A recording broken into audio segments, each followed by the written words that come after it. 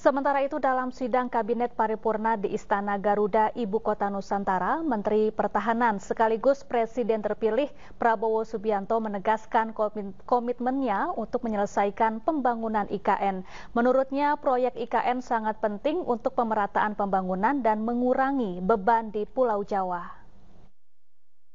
Ya, jelas dan tadi sudah saya tegaskan beberapa kali bahwa eh, IKN ini akan kita tuntaskan, akan kita selesaikan dengan baik.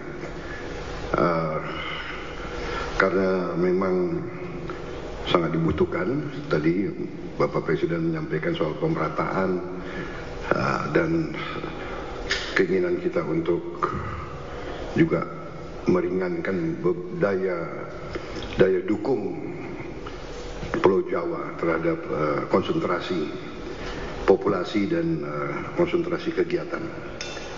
Komentar saya tentunya kepada otorita. Pertama, uh, terima kasih atas jerih payah dan prestasi yang sudah dicapai.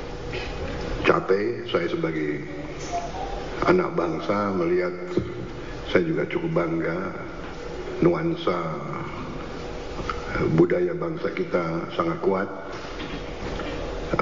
dan ini juga membesarkan hati kita semua. Ya.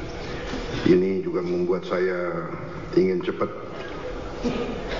beroperasi di sini, Pak. Pak, Pak Jokowi yang susah-susah yang menikmati pertama saya, ya itulah tak, takdir Pak, begitu. Minta maaf Pak.